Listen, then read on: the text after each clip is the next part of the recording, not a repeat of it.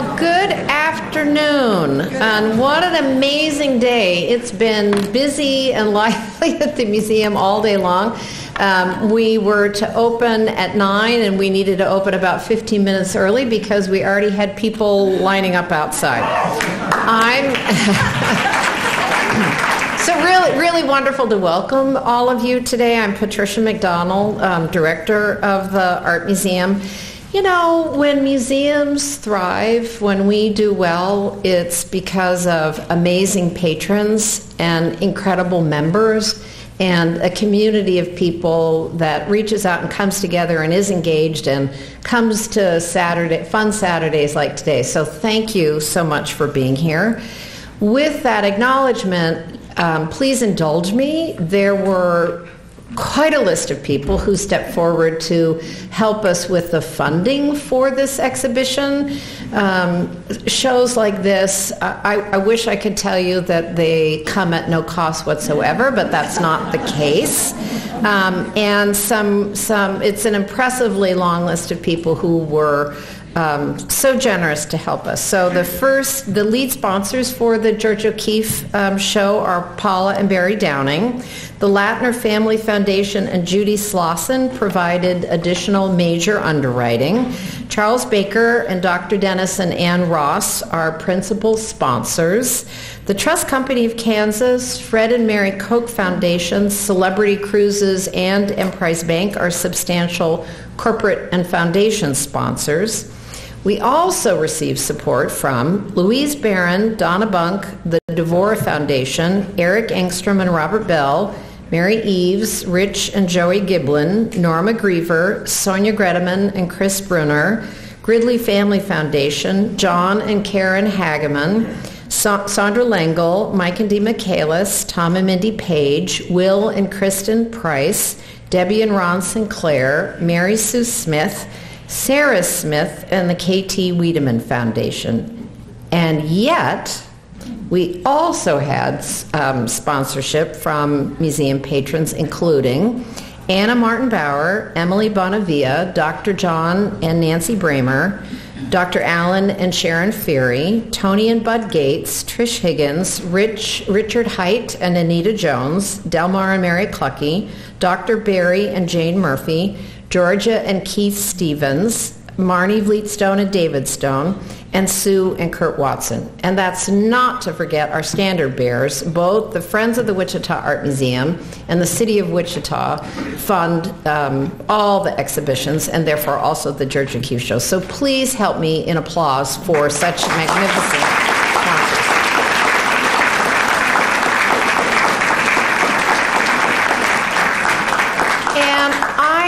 Really need to publicly um, extend the deepest thanks to the Wichita Art Museum staff. We do heroic efforts um, at this museum. They really pour themselves into the work, and in particular, the people who spent countless hours the past couple of weeks um, in the galleries with all, but also all the prep work to get them into the galleries so that's um, our curator, Dr. Tara Hedrick, who's at the back of the room, Kirk Eck, I saw floating around. Oh, he's right over here. He's imaging and installation manager, and Tony Marshall is a preparator, and he was floating around here today too. They, you know, if you've been in the galleries, it's an incredible show, and think of all the different um, important ways and all the details uh, that it takes to make an exhibition like that sing um, cycling to the star of the Wichita Art Museum, I'd say for the weekend, but really it's the entire spring, and that's Wanda Corn. Um, a woman that I've known for, we don't want to say how many decades at this point, and it becomes harder and harder for me to introduce Wanda for many different reasons, but in part because her list of accomplishments just keeps piling higher. Um, she's not a stranger to the Wichita Art Museum. She's been here a number of times in recent years. In 2014, she was the wooden lecture here, and she actually gave an early lecture as this exhibition was in development. So she's She's not giving a, a, specifically exhibition lecture this time. Um, it's, it, it's slightly different. Wanda is the Robert and Ruth Halperin Professor Emerita from Stanford University. She, her PhD is from New York University, and then she taught at Mills College for a decade, and then 30-ish years at Stanford University. In, in introducing her, I really need to collapse all her accomplishments, and I'm just going to focus on two things. I'm going to look totally past the seven books that she's written. She's already uh, now working on her eighth. And I want to focus on her awards and, and her scholarships. So she um, is the recipient of the Distinguished Scholar Award in 2014 from the College Art Association. It, you know, m- most of these that I'm about to name, and I'm, I'm not naming all of them, are Lifetime Achievement Awards, and to be named the st- Distinguished um, Scholar by CAA, which is the Learned Society for the Visual Arts, is really quite something. It means you're a rock star. Um, she had received from the same professional association their Distinguished Teaching of Art History Award in 2007. Um, she received uh, the Charles Eldredge Prize for Distinguished Scholarship in American Arts from the Smithsonian.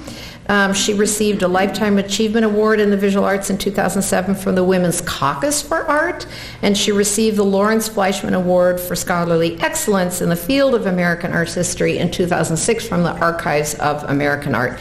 I'd say, you know, it's really almost her fair share of Lifetime Achievement Awards at this point, but I'm sure there, you know, there are professional associations out there still wondering when when to um, recognize her. She's she's revered appropriately for many different reasons, but she's a scholar's scholar, and by that I uh, reflect that the range of her interests, um, of the things that she thinks about and, and writes about, both the depth and the subtlety that she pursues her project is uh, why we think of her as a scholar scholar. Her major projects, so exhibitions and, and books, include um, she's worked on um, Andrew Wyeth, Grant Wood, Gertrude Stein, um, American Tonalism, the Women's Building, and the 1893 Chicago World's Fair when the professional journal, the Art Bulletin, which is really the weighty journal for uh, art history,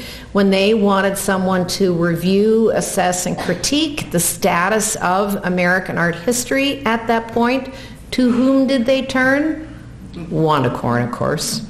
After roughly two decades of dedicated research, she uh, brought forth just an incredible uh, book that was a landmark achievement, The Great American Thing, Modern Art and National Identity.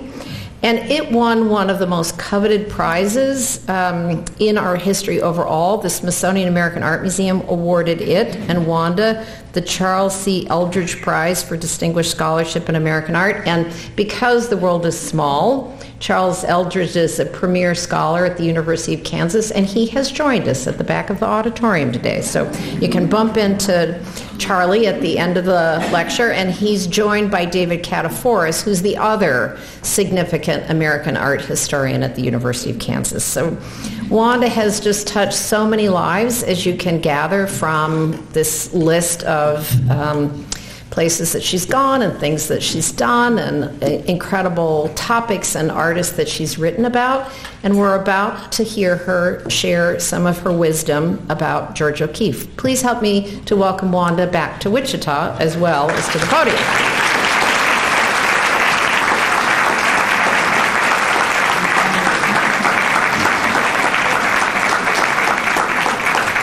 Thank you very much, and thank you again, Patricia, for that um, fulsome uh, introduction. And I, my thanks also to the staff. She's already shared them, their names with you, but uh, it's been wonderful to work with the curator and the installation team here. This is not an easy exhibition. It's multimedia, 3D and 2D. Um, it's everything from clothes to photographs to paintings that are hung in ensembles, not as separate genres. Uh, and you should know that your museum here has done a fabulous job that competes with the rest of the exhibition venues uh, where this show has been. And my lecture today is going to draw upon the O'Keeffe um, exhibition upstairs, uh, which if you've been there, you'll know it looks like the pictures on the uh, right. Um, but I wanted to say that It's had uh, two titles, as it turns out. One is the original title, Georgia O'Keeffe Living Modern, which was the name given to it by uh, me and the Brooklyn Museum, which premiered the show. But over a couple of venues, Art, Image, and Style came to be one of the preferred titles. I actually like it very much, and so did Patricia and, and Tara, who were working with the exhibition here. So we have title number two that is in play um, at your museum. Um, as you know, it is made up as a, of paintings, sculpture, photographs, but most notably, the fresh sort of element is the garments drawn from uh, Georgia O'Keeffe's wardrobe. Indeed, it was my discovery of what she left behind in her closets uh, that stimulated the fresh perspectives that the exhibition brings to the artist. The dominant one being the aesthetic unity of her art and her sartorial style.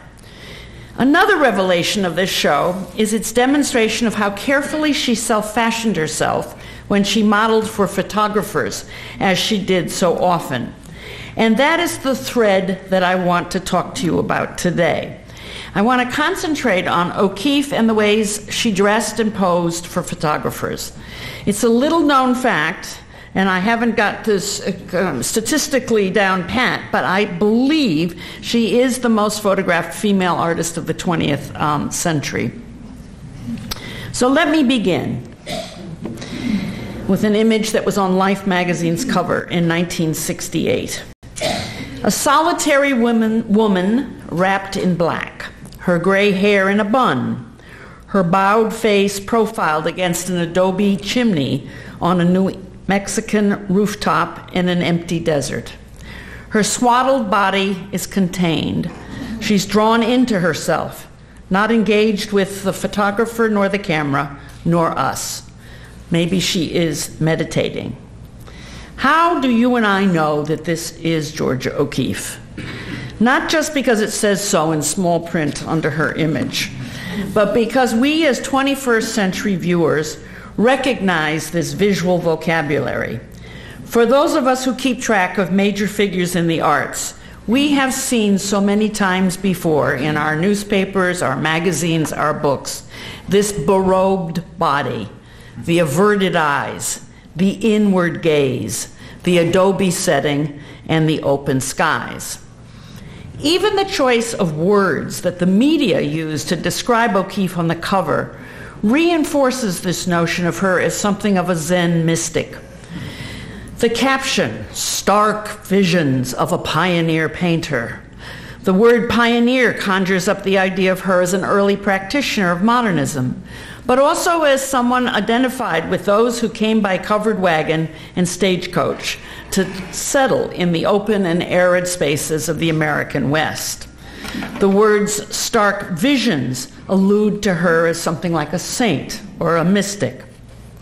This vocabulary that, that uh, people were using, Life magazine was using, is also one, it's a visual vocabulary, and it extends and secularizes the old master iconography of Christian saints, such as Giovanni Bellini's famous St. Francis on the upper left uh, seeking con- of, of St. Francis seeking contact with his God out in the countryside, or images drawn from Eastern religions of Buddhas or monks in meditation, or nuns in the black and white habits.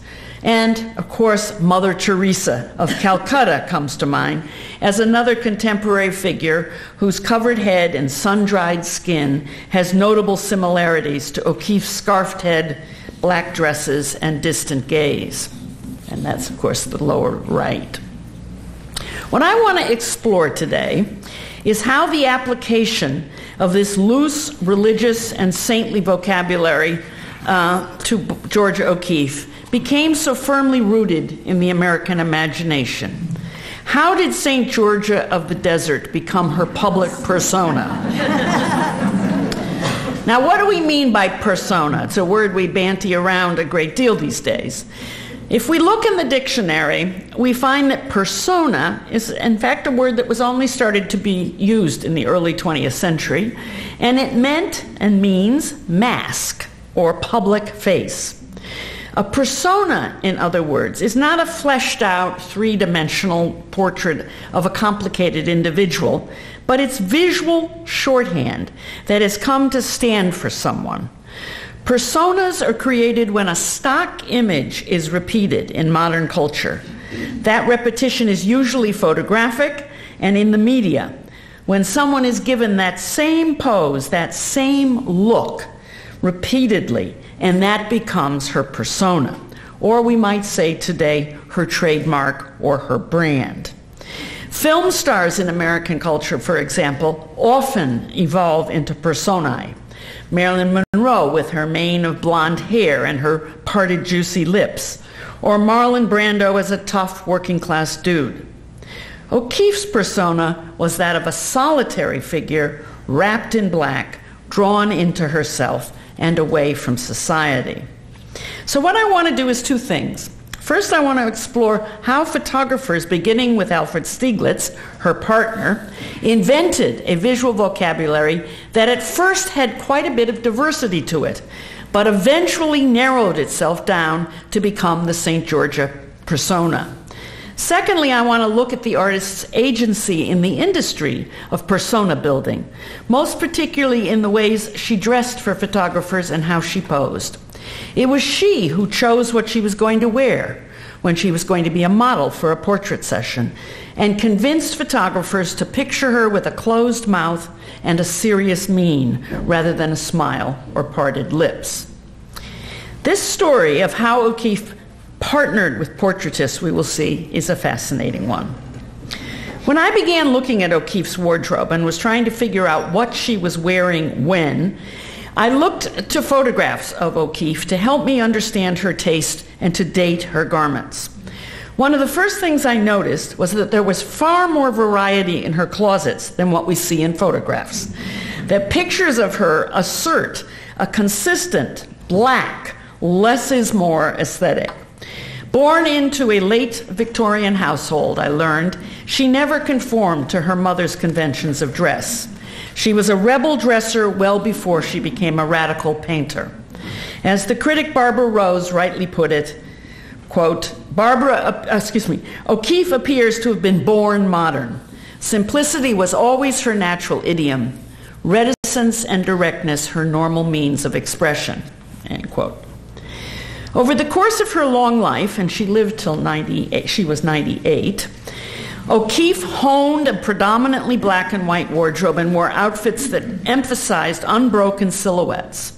From childhood on, she always opted for plainness over ornamentation. She also insisted that her garments be comfortable and functional, so she gravitated to robes, capes, and wraps that were easy for her to slip into without any assistance. She liked pockets to carry her hankies and was drawn to elemental shapes, round mother of pearl buttons, V necklines, or mandarin collars. To use art vocabulary, she dressed as if she were an unbroken black and white abstraction moving through space. I call this O'Keeffe's amazing continuity. And in doing that, I'm co opting that nice title uh, from a title that Stuart Davis, an abstract painter, used for one of his um, works. And I want to give you one telling early example of how she exerted her independence rather than conform to the dress codes of her peers. On the right, um, is not she is on the left but on the right you see what you might call i might call for you the mainstream look for middle and upper class teenage girls when they dressed up for special occasions such as having their photographers done. And i believe they're either sisters or twins i'm not quite sure what but it's just such a beautiful photograph and it it helps me make this point that when you got ready for the photographer uh, uh and you were in high school you wore a white dress with long sleeves, lacy bodices. And commonly, you brushed your hair up into a high pompadour around the face with an oversized black bow at the bottom of your pigtail. And that's what you see here. These great big things are not hair, but these are great big flouncy black bows. In comparison, O'Keeffe on the left wears a similar white blouse or dress, but is in a plainer version. And she has spent no time whatsoever puffing up her hair and adding a bow. This became her lifelong pattern. She begins with fashion that's au courant, but she then whittles it down to suit her abiding minimalist taste. As she put it once in reminiscing, from the time I was a little girl, if my sisters wore their hair braided, I wouldn't wear mine braided. If they wore ribbons, I would not wear any. This independence of dress and lack of traditional femininities continually engendered commentary, and one can only imagine what her mother must have thought. Uh, she never left behind any words. But O'Keeffe's high school yearbook left behind words describing her this way a girl who would be different in habit, dress, and style. Habit, style, and dress. A girl who doesn't give a cent for men and boys still less. I'm going to quote from a first person recollection of O'Keeffe in high school that helped me recover some of these early habits of dress, especially her rejection of ornamentation. And this quote comes from, again, a, um, a memoir statement by a classmate of Georgia O'Keeffe's um, who went to Chatham Hall. This is where she graduated from high school um, in Virginia. Uh, and this is a sorority photograph from her high school senior year. And one of her sorority uh, members vividly remembers when she first walked into the study hall at Chatham. Uh, and she'd been there for a week or two, and also I think had been a student the prior year. And O'Keeffe was a newbie uh, coming in. And when, this person said, she saw her, quote, I felt perfectly competent to criticize this latecomer, especially as she was unusual looking. The most unusual thing about her was the absolute plainness of her attire. She wore a tan coat suit, short, severe, and loose, into this room filled with girls with small waists and tight fitting dresses bedecked in ruffles and bows. Pompadours and ribbons vied with each other in size and elaborateness. But Georgia's hair was drawn smoothly back from her broad, prominent forehead, and she had no bow on her head at all, only a tiny one at the bottom of her pigtail to keep it from unplaiting. Nearly every girl in that study hall planned right then and there how they were going to dress Georgia up. but each plan came to naught. For this strong minded girl knew what suited her and would not be changed, though she approved of other girls dressing in frills and furbelows. I realize now that Georgia knew her style and type. The features you, she's discussing, uh, the memoirist, that you can see here in this sorority photograph. If you just note she is the third one down, I've sort of given you I'm uh, giving this away to you. But just look who has the tightest sleeves of every single one of those white dresses. Just try to find who it was that doesn't have one of these sort of big birds hanging on the bottom of their pigtail. Who is it that has their hair pulled the most severely back? With a part even that shows, as if to make fun almost of these girls that are all similarly uh, with their hair piled up. As Miss O'Keeffe said once, in getting back at probably thinking of what she was thought of at the time, the girls there all thought I was pretty strange, but I thought they were pretty strange.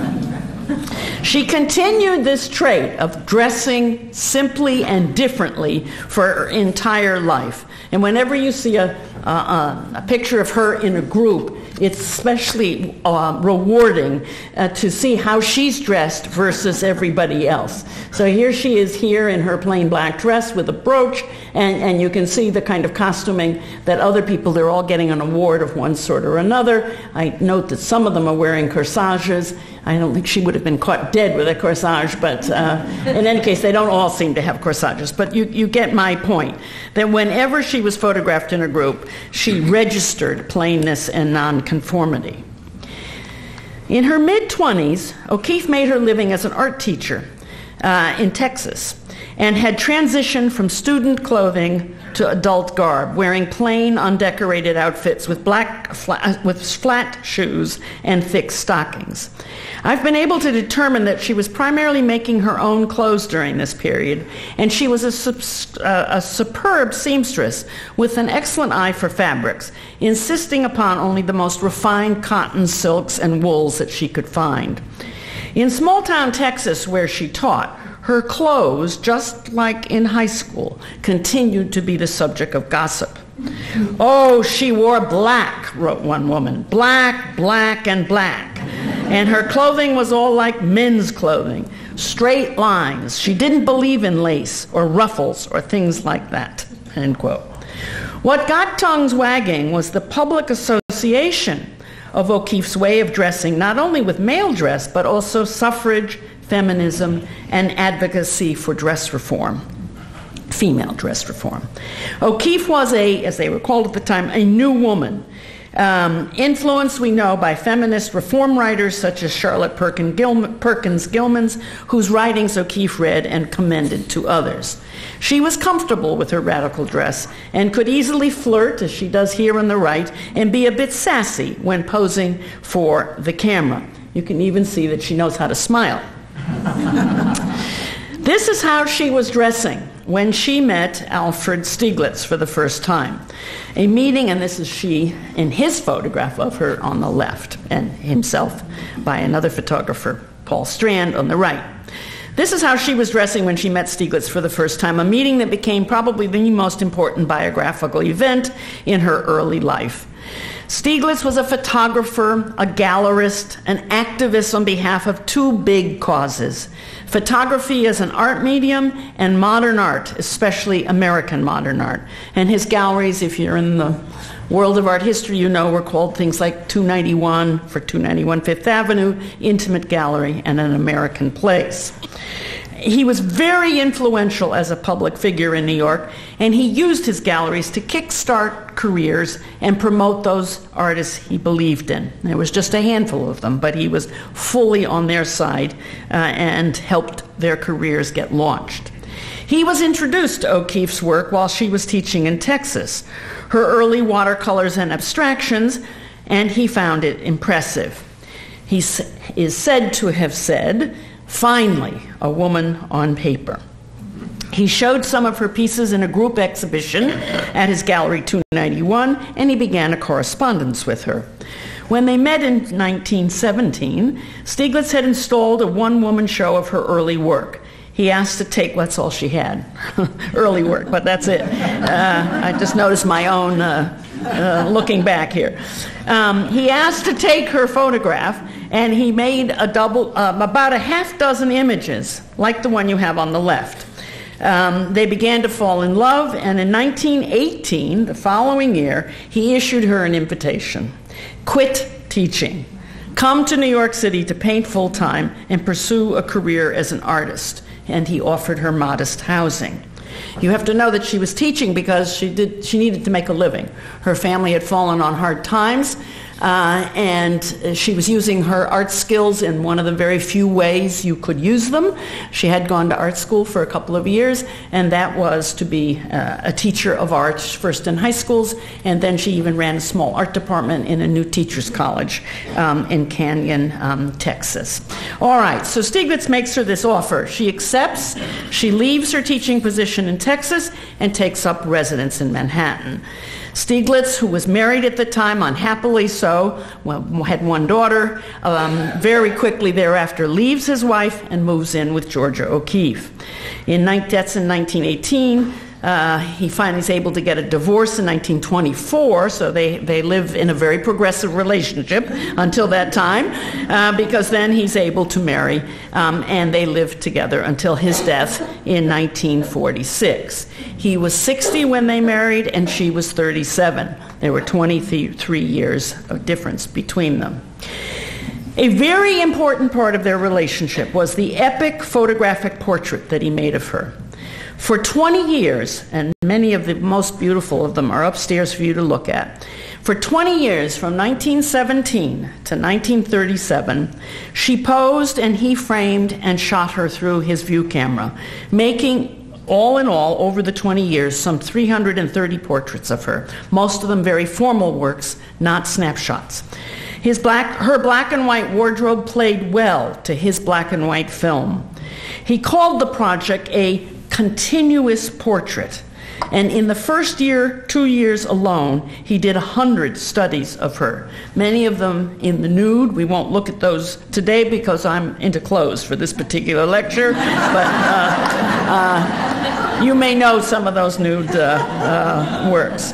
And they faded away partially because she began to realize they weren't doing her reputation any good. Um, uh, and so, uh, and, and also, uh, just for their own relationship, it was better that that, uh, uh that particular way of presenting herself uh, uh, change. Stieglitz then not only launched her career as a painter by showing her work in his galleries and getting critics to write about it, but he also, and this is an important point, he created face and body recognition in New York and for art people who were following what he was doing in his galleries. He created face and body recognition for his young wife by showing his photographs of her, his pieces of his continuous uh, portrait, in exhibitions of his work. So let's look at a few of those images. Um, uh, and I'm coming back. This is these are his images, but these are his images um, of of other of his artists. Um, and I wanted you to see to see them because what's interesting about them is that he often used this as a kind of staging ground, and that is to have one of his artists stand in front of one of their works um, of art. Uh, and then he would direct them to look at the camera or look up or, or, or whatever. But what's unusual about his early portraits of O'Keeffe, which are in this particular mode, is the way that he inserted her head into her works of art. And this is very different from the way he posed male artists. Stieglitz took many portraits of the artists in his circle when they visited his galleries, each against an artwork behind them. When he posed male artists in front of the works, they became the works became murky backgrounds, and the same was true when Steichen posed him in front of uh, his own photographs um, in 1915. But when Stieglitz photographed O'Keeffe in his gallery, he had her body interact with the painting behind her. Her collar in the portrait to the left, for example, right here, if you look how that continues the lines of that abstraction uh, so that it becomes the bottom edge uh, of the painting, the V of her dress growing into the shapes in her art.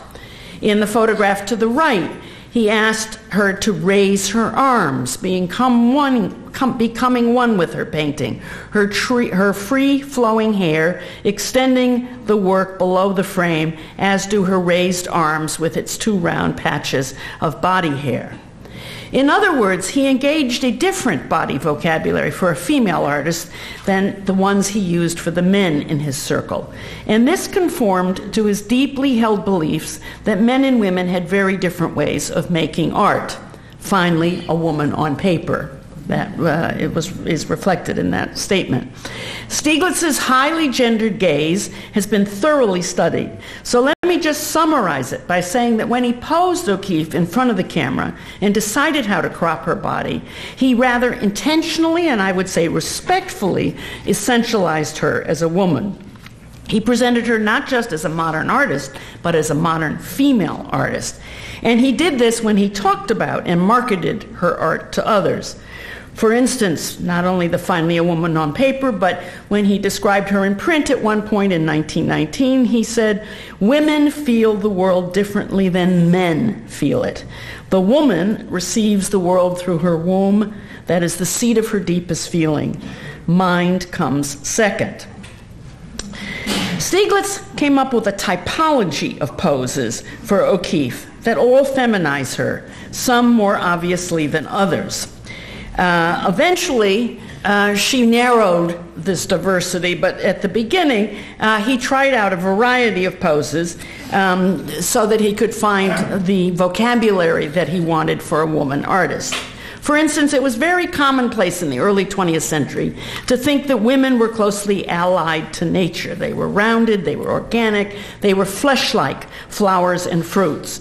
So many Stieglitz photographs of O'Keeffe aligned her with nature, caressing trees, holding apples, grapes, leaves, and emphasizing serpentine flowing lines over straight angles. Also, when she self consciously dressed mannishly, and that was a word that was popularly used in the 20s, acting out her commitment to new womanhood and radical sexual politics, he drama- dramatized her dedication to non-conforming modern dress. Progressive new women like O'Keeffe enjoyed borrowing from male attire and dressing androgynously.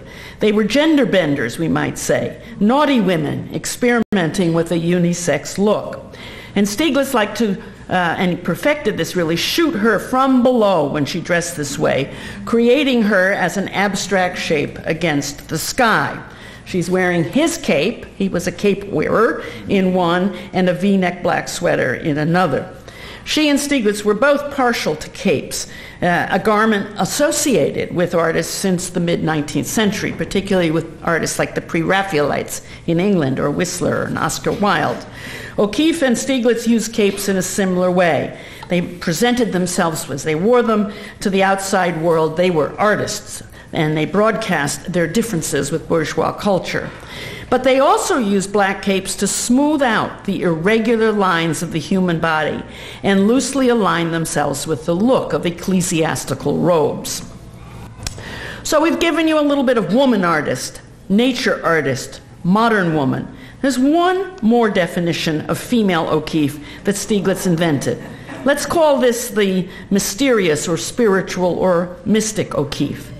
In this variation, he more explicitly evoked religious dress, such as the ecclesiastical habits with hoods worn by nuns and monks, or the covered heads of churchgoers. Most likely at his direction, O'Keeffe covered her head in a shawl or hood and looked away from the camera and focused inward, lost in her own thoughts and ruminations. Having her disengaged from the world around her, Stieglitz renders O'Keeffe mysterious and unfathomable, not in communication with us, but folk, um, not with us, but with forces outside of ordinary society. Much like the work still photography did in creating movie stars, Stieglitz's portraits promoted O'Keeffe's dramatic profile, her inexplicable gestures, and her black and white wardrobe um, the very same years he was introducing New Yorkers to her audacious modern art. One consequence was that when art critics wrote reviews of O'Keeffe's exhibitions, they felt free to comment upon her unusual looks and dress. For instance, in 1924, a female critic who had known O'Keeffe earlier when she had been a student reviewed her art and then said, what a different O'Keeffe she has become. She's no longer curly haired and boyish, but an ascetic, almost saintly appearing woman with a dead white skin, fine, delicate features, and black hair severely drawn back from her forehead. Saintly, yes, but not nun like. I don't understand that last statement, but I quote it to be honest. Uh, Stieglitz would have, and, and, then I should just add that when Stieglitz uh, would be asked, or when O'Keeffe was asked, to sit for another photographer for a magazine article that was going to be about her, and excuse my Xerox copies here, but to make this point, this is the best I could do.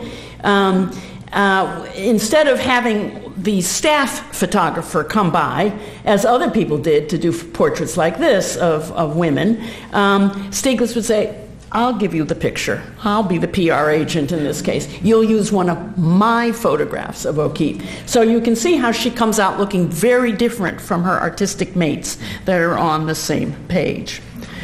Stieglitz would have liked that description I just gave you as of O'Keeffe as saintly. And he surely approved of this Arnold Newman photograph of him and O'Keeffe that makes the two of them seem so monastic.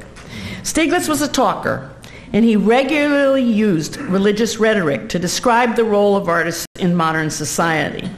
He liked to call artists names like evangelists, spiritual leaders, even priests who had a calling to be society's saviors. Artist's missions in his mind were to create modern art that was so uplifting and beautiful that it would cleanse modern culture of its oppressive materialism. Arnold Newman, the photographer here, knew well Stieglitz's biblical talk. Everybody did. And brilliantly set up his composition to communicate Stieglitz's self defined image as a missionary. And he posed O'Keeffe, much like she appeared in Stieglitz's spiritual woman photographs, withdrawn and contemplative. Newman photographed them united in one wrapped black body, as if sp- uh, spiritual brethren in an artistic order. Both appear grave. Stieglitz holds a book as if a cleric might hold a Bible. It was, in fact, a book about himself called America and Alfred Stieglitz.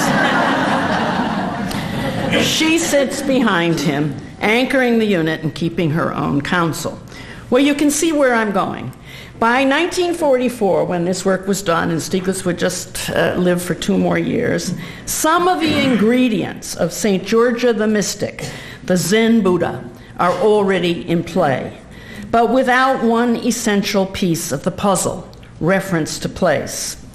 When Stieglitz photographed O'Keeffe, he generally generalizes the background. That's, uh, he generalizes the background, or he blurs it, or he just makes it a tree or a sky. So we really don't know exactly where uh, she has been photographed. And this kind of what you might, call placelessness universalizes her as a woman of the world, to use, or to use his language, to her womanness.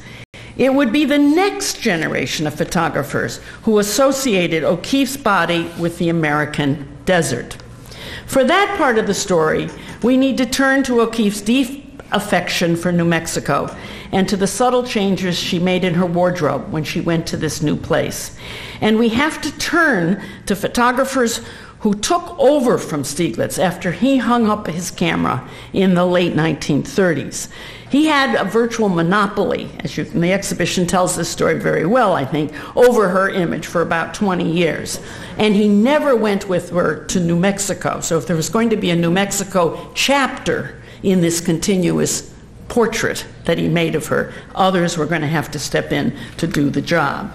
And that begins in 1924 when she begins to spend summers in northern New Mexico without Stieglitz, who stayed behind where they had commonly gone for the summers uh, to his family uh, compound, summer compound at Lake George, New York. After Stieglitz's death in 46, O'Keeffe cleaned up his complicated estate and moved to New Mexico for good, where she lived post Stieglitz for another 40 years until her own death in 1986. Over time, she bought two properties. The earliest and the smaller of the two at Ghost Ranch, and that's what you see here on the right. That's a painting of this home. This is the home, you're in the courtyard of it.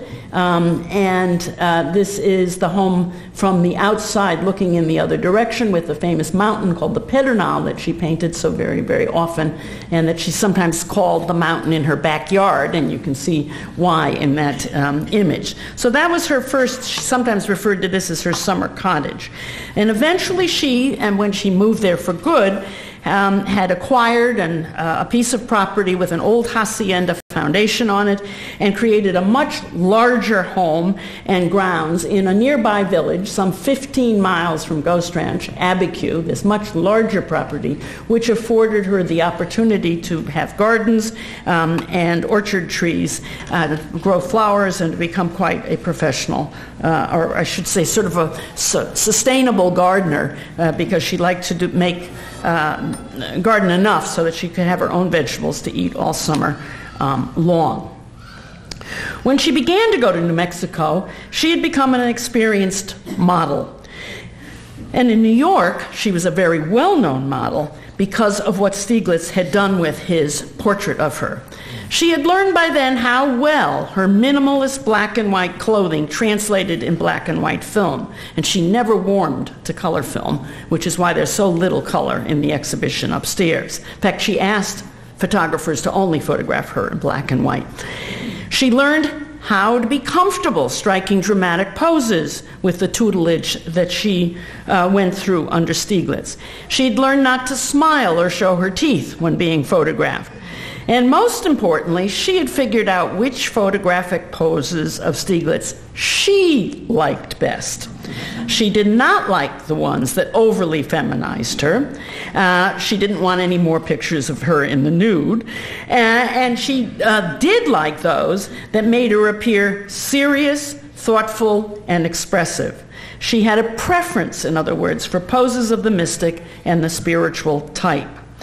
She had also learned that photographs circulating through exhibitions and the media had become powerful tools for projecting her artistic identity, for creating a persona. Very few, if any, of her contemporaries had this kind of PR support in building their careers. With 20 years of experience, she now entered into what I would describe as artistic partnerships with a younger generation of cameramen who, as soon as Stieglitz stopped making photographs, contacted her and traveled to the west, southwest to photograph her. She continued to dress in black and white, but she began to add new accessories, such as long white scarves and wide brim black gaucho or vaquero. They're, not really American cowboy hats, but more like the felt cowboy hats that the um, artists in Mexico and, and Central and uh, America wore.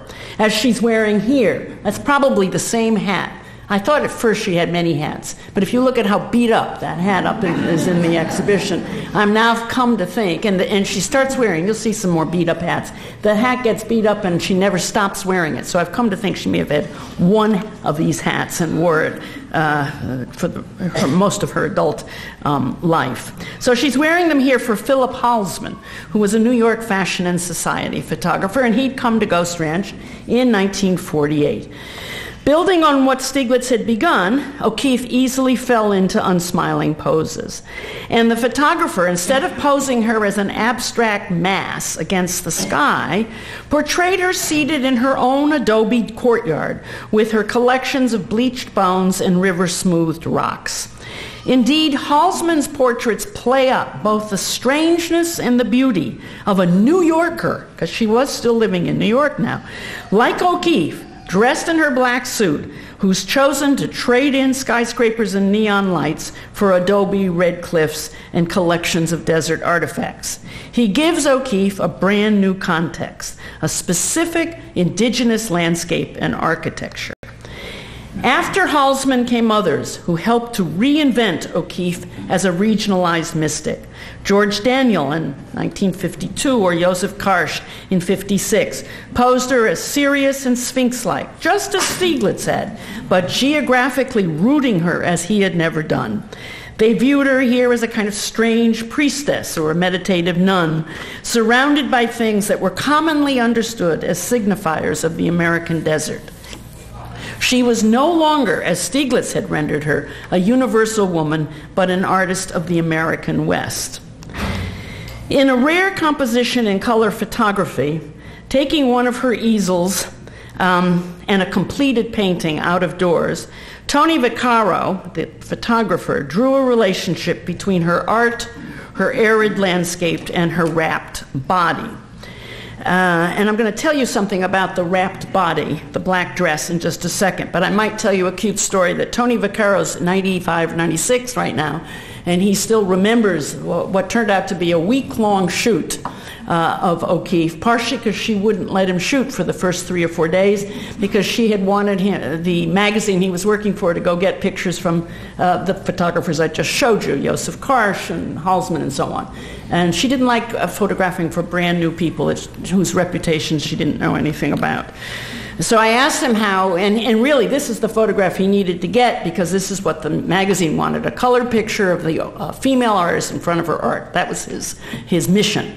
Um, and when he finally got it, he got it in color. And I said to him, Well, how did you do that? Because she didn't like color photography. And he said, Well, by then we had kind of become buddies. I had made spaghetti for her, Vaccaro, he's Italian. I had gardened for her, I'd pulled weeds, I'd picked the lettuce, and I had become okay in her eyes.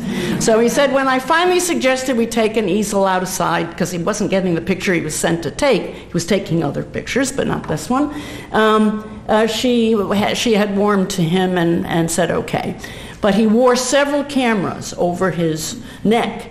And he just said he would pick, take one, take a picture, and then say, mm, not quite right. Pick up another camera, and she, of course, wasn't conscious. Her back was to him, for starters, uh, of exactly which camera he was using. And little did she know, but one of them, maybe more than one of them, was loaded with color film, because that was also part of his mission to get a color picture, not a black and black and white. So, thus, this this very famous um, um, photograph. Uh, but I want to tell you something about the little black dress that she donned for the very first time for Vaccaro, because it became her go to outfit for the next 25 years of posing. This is a commission of 1960. She wore these wrap dresses until her death in 86. Her adoption of it as a uniform underlines the degree to which O'Keeffe was not a passive sitter, but a strong willed partner in the making of the persona that the media constructed. She exerted her agency in multiple ways. This garment was a little different from the black suits she had been posing in regularly. And these are two more Tony Vaccaro photographs. Uh, it was basically a cotton wrapper with a very wide skirt that she gathered together with a belt. It had a lot of material in it and was something like a cinched kimono, except it had narrow sleeves and a shorter hemline. It had no fasteners, no buttons, nor a zipper, and it was very plain.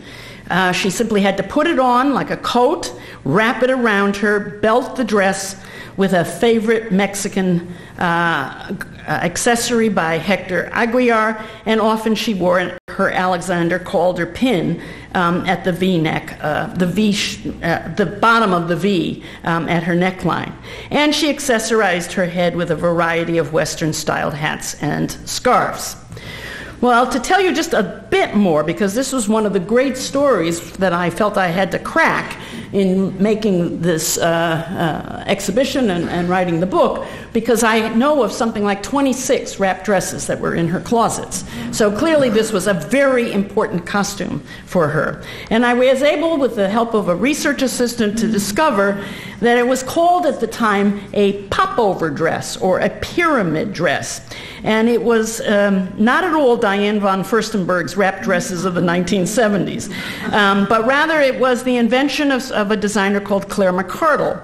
And uh, it was so popular that Simplicity put out a pattern uh, for the dress in 1951. Um, we know, purchased her first ones from Neiman Marcus. Her versions were a little simpler than McCardell's.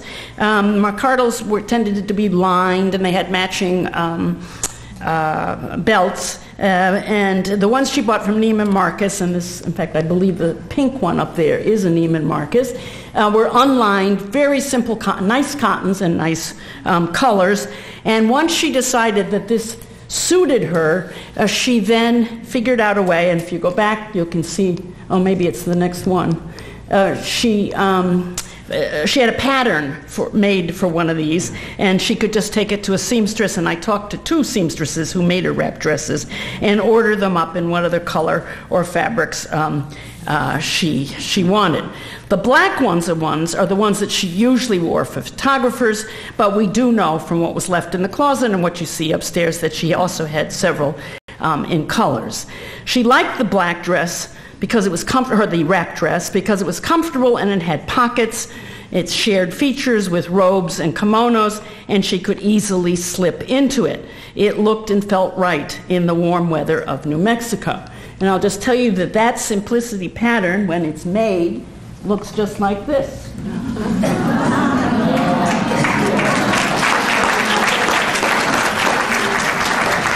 and, and for those of you who know sewing, we bought seven yards to make this. It's cut on the bias. There's a lot of cloth. I feel like a little uh, 1950s, like I should have a starched slip under this. I'm remembering back to the days of the 1950s. In any case, my research assistant made this dress for me, and we made one for herself as well, which is very fun. So as she aged, let's go back to as O'Keeffe aged, she suffered from mascular, uh, macular degeneration. Uh, but he, and here she is wearing her wrap dresses, um, and or in one case, she actually donned a kimono. Kimonos were what she wore in the house, not out of doors, but we have one single formal for portrait of her in the kimono, and you see that upstairs that's done by uh, Bruce um, Weber.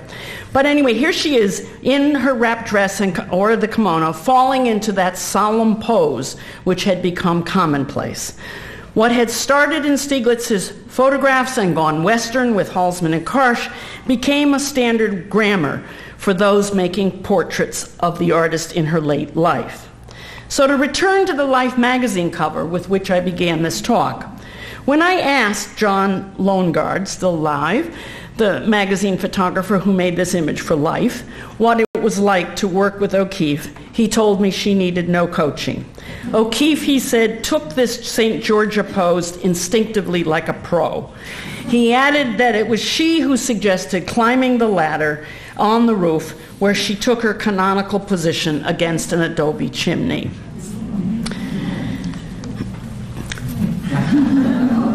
Personae, as I said at the beginning of my talk, never reveal the whole person. They are not three dimensional beings who get and have bad hair days or can laugh and cry.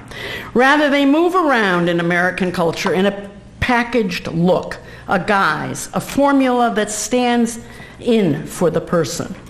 Pop artists like David Bradley, a Santa Fean uh, Native American artist represented here, knew this about celebrities, and he made a number of portraits like the one here, treating O'Keeffe's persona with humor and irony and admiration. In his own pop way, he grasped that her art, her black wrap dress, her withdrawal into nature, and her engagement with place were the basic ingredients of her St. Georgia of the Desert persona. Some of Bradley's humor resides in his self conscious replay of another celebrity image, that of Whistler's mother of his stoic uh, mom, wearing black widow weeds and seated alone in her surrounds for eternity. And it's also witty to imagine the artist as stiff and nun like, working alone in a stylized desert, a kind of westernized Mother Teresa. Though O'Keeffe was still alive when Bradley painted his image, O'Keeffe didn't pose for him, nor did she need to. He could easily draw upon the huge image bank the artist had spawned over half a century. But she did pose for this late life image by George Mobley, a staff photographer for National Geographic, who captured what you might call the uber thesis of my book and exhibition. And that is that O'Keeffe had but one aesthetic that she projected not only in her paintings, but also in her dress her homes, and her sessions with professional photographers. In this wonderful late portrait, the colors and strong outlines of the artist's profile and her clothed body repeat those in the painting that of a place she called the Black Place to the right. Even the way O'Keeffe angles her cane anchors the gray zigzagging ravine that cuts down the middle of the painting. There's such perfection here in visualizing a symbiosis between O'Keeffe's body and her painting that I asked George Mobley, now retired and living in Panama, how he got the shot and where did he find such an uncluttered wall.